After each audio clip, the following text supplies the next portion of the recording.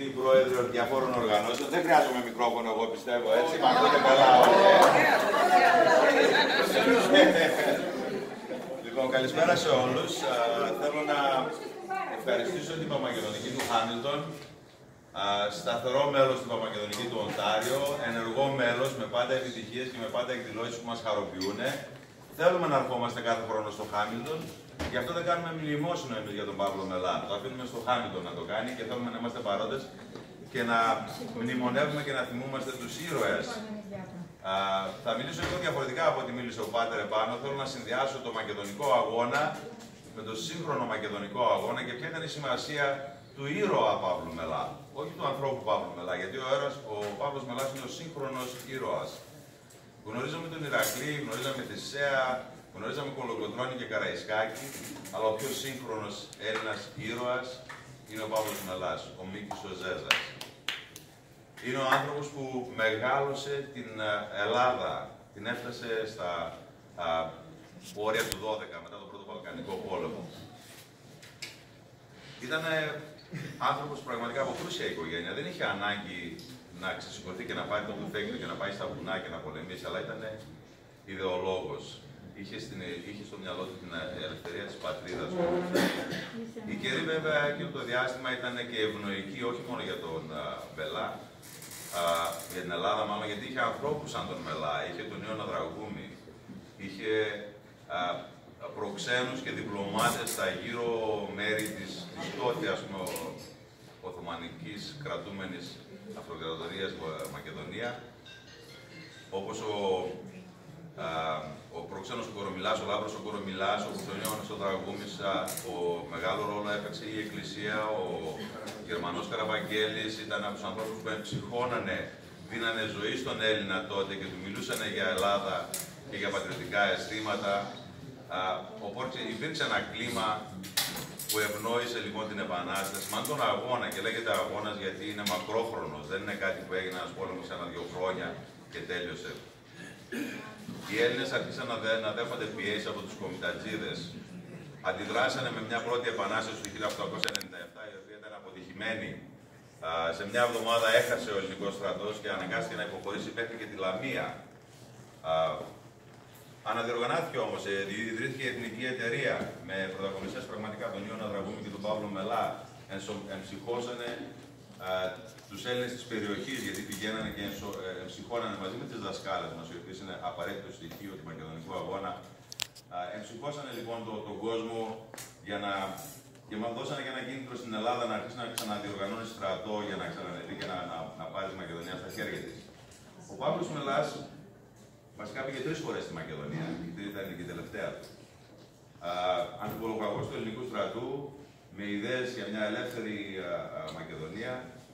Μπορούμε να πούμε ότι δεν πολέμησε. Η μία ήταν η μάχη η οποία έδωσε με τον Τουφέκη, και ήταν η τελευταία μάχη που, που την έχασε κιόλας.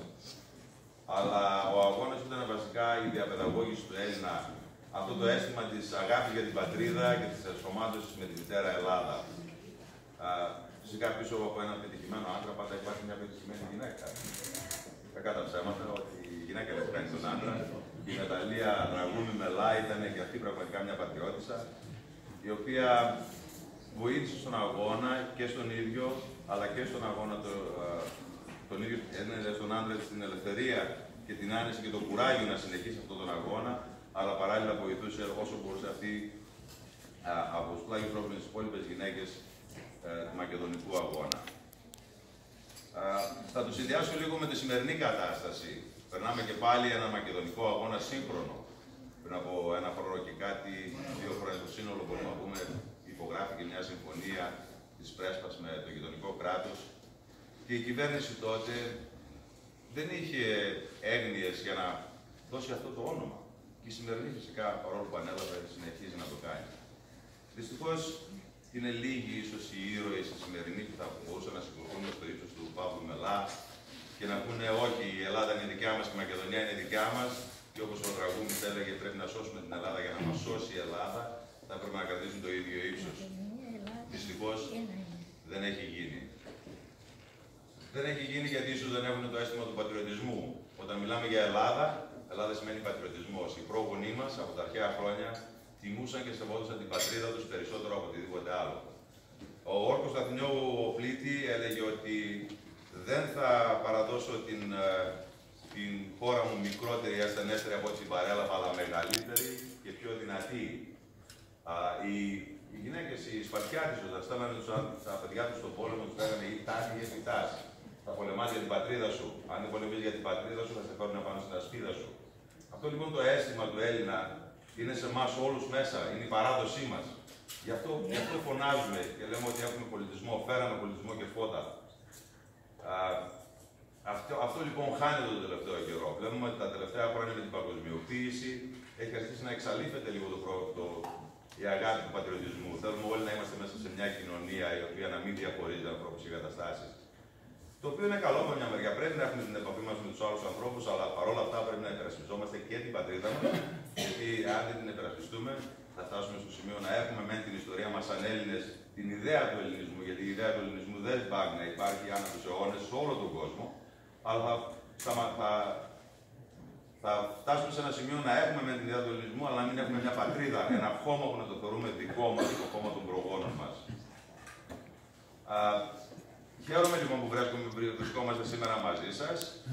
Χαίρομαι που η κατάσταση έχει αρχίσει να αλλάζει λίγο. Φτάνουμε στο σημερινό επίπεδο. Θα ακούσατε πριν από δύο-τρει μέρες. Τα Σκόπια δεν μπορούν να μπουν στην Ευρωπαϊκή Ένωση. Βέτο υπάρχουν από εκεί δύο μερικέ. Αρχίζουμε δηλαδή να βρισκόμαστε σε μια κατάσταση που οι ξένοι βοηθάνε την Ελλάδα. Βέβαια, οι ξένοι του εξωτερικού, οι Έλληνες του εξωτερικού ήταν αυτοί που βοηθούσαν πάντα την Ελλάδα, εμείς δηλαδή. Τώρα βλέπουμε ότι οι ξένοι βλέπουν την αδικία ή το λάθος που γίνεται, γιατί το να ονομάσει ένα, ένα κράτος με ένα όνομα που δεν είναι δικό του είναι θέμα οικονομικό, ε, οικουμενικό, είναι, είναι παγκόσμιο θέμα. Η, η ιστορία της Μακεδονίας δεν είναι μόνο η ιστορία της Ελλάδας. Είναι παγκόσμια ιστορία.